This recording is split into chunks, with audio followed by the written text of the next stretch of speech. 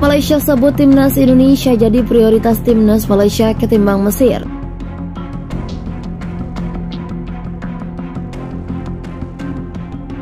Seperti mana korang tahu kalau perlawanan antara Malaysia dan juga Indonesia confirm perlawanan tersebut akan menjadi panas, akan menjadi hangat sebab apa eh? Derby Nusantara ni akan sememangnya ditunggu-tunggu oleh penyokong Malaysia dan juga Indonesia. Aku still percaya bola itu bulat dan pasukan muda skuad kebangsaan ni mungkin boleh juga cipta kejutan untuk kita menang pingat gangsa insya-Allah.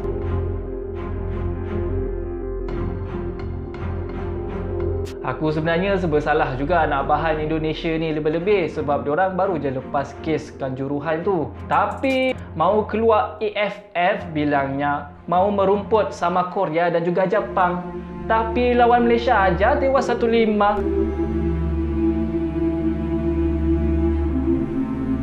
Perlawanan Indonesia dan Malaysia tidak asing lagi buat para peminat apabila sejarah pernah mencatatkan betapa bencinya penyokong Garuda ni apabila mereka tewas di tangan jiran tetangga iaitu Malaysia.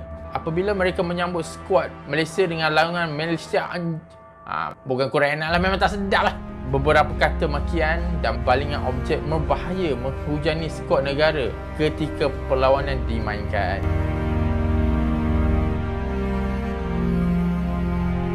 Sepak bola. Malaysia itu tentu tidak senang kalau Indonesia ini maju bahwa kita lah Melayu yang paling hebat.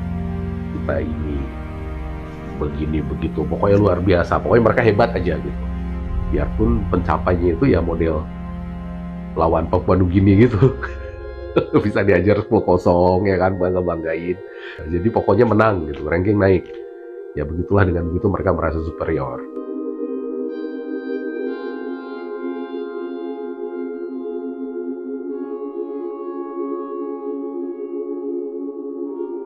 Media Malaysia Eko Harimau Malaya menyebut timnas Indonesia masih berpeluang menghadapi timnas Malaysia di FIFA Matchday September 2023. Dalam laporan mereka, timnas Indonesia masih menjadi lawan yang diprioritaskan Federasi Sepak Bola Malaysia selain Taiwan. Sekedar diketahui timnas Malaysia akan menjalani dua pertandingan di FIFA Matchday September 2023. Sejauh ini, baru ada satu negara yang dikonfirmasi akan menghadapi Malaysia di FIFA Matchday September 2023 yakni China. Sementara itu, satu sisa lawan lagi belum ditentukan FAM. Beredar kabar Malaysia akan bertemu salah satu dari timnas Indonesia dan Taiwan. Kabar yang disampaikan Eko Harimau Malaya mengundang respon pecinta sepak bola Indonesia. Mereka meminta PSSI supaya menyusun jadwal laga timnas Indonesia versus Malaysia di FIFA Matchday September 2023. Pelatih timnas Malaysia Kim Panggon ingin timnya dapat bersaing dengan tim mana pun.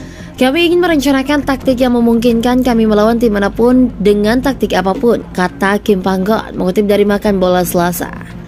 Kami juga ingin bersaing dengan semua tim terlepas dari level mereka, entah itu tinggi atau rendah, lanjut Kim Panggon. Hanya saja, Makan Bola melihat timnas Malaysia tak cuma sekedar bisa bersaing, Safawi Rashid dan kawan-kawan dipercaya dapat mengalahkan tim mana pun.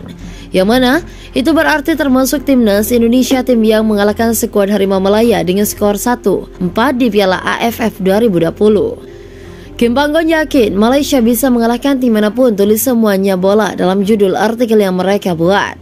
Kim Panggon yang ditunjuk sebagai pelatih timnas Malaysia pada Januari 2022 sudah membesut Harimau Malaya dalam dua pertandingan. Ia memimpin timnas Malaysia dan dalam dua pertandingan FIFA Matchday Maret di laga perdana timnas Malaysia menang 2-0 atas Filipina. Sayangnya di laga kedua skuad Harimau Muda tumbang 0-2 di Singapura. Padahal The Lions, julukan Singapura kala itu belum ditangani pelatih permanen alias hanya dibesut pelatih caretaker. Terdekat timnas Malaysia akan turun di laga uji coba. Kemudian pada Rabu, timnas Malaysia menjamu Hong Kong. Dua laga ini digelar sebagai persiapan timnas Malaysia sebelum turun di babak kualifikasi Piala Asia 2023. Timnas Malaysia dipercaya AFC sebagai tuan rumah grup C kualifikasi Piala Asia 2023 yang berisikan Turkmenistan, Bahrain dan Bangladesh. Hanya status juara grup dan 5 run up terbaik yang dapat meloloskan Malaysia ke Piala Asia 2023.